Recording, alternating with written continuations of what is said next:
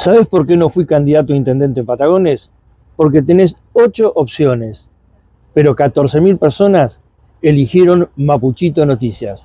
Suscríbete a nuestro canal, dale click a la campanita un eh, deporte que está ganando adeptos en todo el mundo y que además se está profesionalizando. Ya Argentina tiene sus equipos profesionales, esto es un, eh, gran logro en conjunto con AFA y con muchos sponsors locales poder traer este campeonato, el final del campeonato que ya que tiene ocho equipos de los cuales uno es nuestro. Tenemos cuatro equipos masculinos, cuatro femeninos y Luna Park que nos representa a los barilochenses y a los rionegrinos con su equipo femenino, las lunáticas. Así que una alegría realmente poder ir creciendo en este deporte y hoy estamos mandando a la legislatura ya el proyecto de ley para poder declarar a San Carlos de Bariloche como capital nacional de futsal. Sí, por supuesto, estamos esperando eh, la llegada de eh, Chiquitapia, el referente de AFA, para presentarle el proyecto de microestadio